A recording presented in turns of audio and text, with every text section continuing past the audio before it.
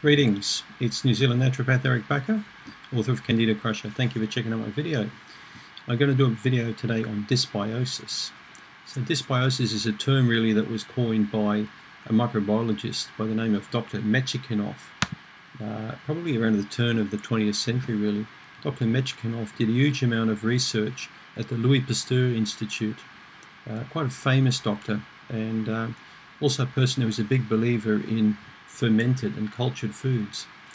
So he was in fact so uh, good at his work that he received the Nobel Prize in 1908 for his work with uh, you know, bowel flora. So which has greatly led to us understanding you know how people get well and get sick with different kinds of flora. So dysbiosis was a term used by Dr. Metchnikoff, uh, you know, basically um, in, in relation to what happens to the digestive flora under the influence of certain things like alcohol and medications and stress, for example. So there are different types of dysbiosis, and I think there are about three or four kinds, and you can read a lot more about this in Liz Lipski's good book, Digestive Wellness.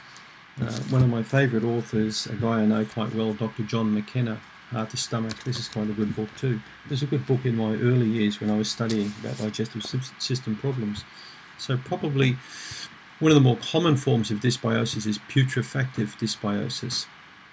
And we see that quite a bit in people who tend to eat too much protein, uh, too many eggs, fish, chicken, uh, even people who eat way too many beans, for example. Even vegetarians can have putrefactive dysbiosis if their protein intake is much too high. So putrefactive dysbiosis can involve headaches, uh, you know, tiredness, malaise, fatigue, but also brain fog, uh, and feeling quite poorly in general. There can often be a production of many different kinds of bacteria, particularly one called Bacteroides. And when these are too much, they can actually start uh, reducing the amount of available vitamin B12 to the person. And uh, putrefactive dysbiosis in severe cases with high Bacteroides can lead to depression, um, numbness and tingling in the extremities, swollen tongue, all sorts of typical signs that we see of B12 deficiency. So these nasty bacteria can also convert bile into a toxic sludge that can predispose you towards bowel cancer even. And bowel cancer is associated with high red meat consumption. In England currently, um, I believe that they recommend no more, um, I think it's 500 grams or one pound of red meat should be consumed in, in a one week period. So we know there's a link between high red meat consumption and various forms of cancer. Fermentation dysbiosis also produces quite offensive flatulence, like really bad. If you look at the fermentation dysbiosis, this is more got to do with candida. So yeasts are quite primitive and different organisms really. They consume sugars and ferment them and then produce alcohol. This is a process that happens with wine brewing, for example. Large amounts of gas are produced. So fermentation dysbiosis isn't quite as offensive the flatulence as the putrefactive, but it's large volumes of gas, lots of farting and bloating, you know, and the, and the, the waistband gets quite tight. You've got to let it off, and it can be quite painful. That generally tends to be um, the fermentation dysbiosis, and the person usually likes sugar, like cookies, you know, things like that. So fermentation dysbiosis is probably one of the most common forms of dysbiosis, really um, and you'll find it very common. My father suffered from very bad fermentation dysbiosis. He went to many different doctors and specialists. He spent a fortune on colonoscopies, endoscopies, x-rays, scans. He did everything. And I remember as a, as a boy asking him if he was all right. And he would say things like, these doctors are idiots. They don't know what's wrong with me.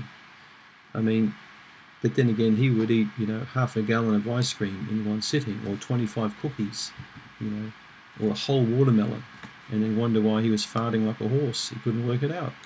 So when I studied the work, you know, done by Dr. William Crook, the Candida book, I quickly realized that he had very bad fermentation dysbiosis and serious yeast infection for, for many, many years. And in fact, it, it basically killed him in the end because he couldn't stop eating ice cream for lunch every day. And he had a freezer full of all these sweet foods. So another kind of dysbiosis we see is deficiency dysbiosis, and, and that comes commonly with antibiotics. And antibiotics are one of the most common causes of yeast infection. And also find, found a lot in poultry, commercial poultry these days. So if you're eating commercial chicken, or getting antibiotics regularly, you'll have deficiency dysbiosis. And we commonly see that in stool tests with very low beneficial bacterial counts. So, and we can also get sensitive dysbiosis, or people who become very sensitive to certain foods.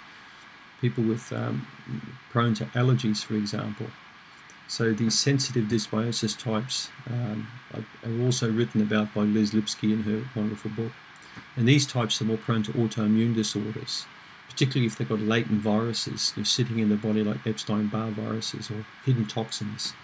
Uh, they have a weak immune system, they become sensitive to foods, throw some antibiotics on top of that, a bit of sugar, you know, too much protein, and you can start seeing you're getting very bad gut function occurring, um, pushing a person down the track of chronic ill health.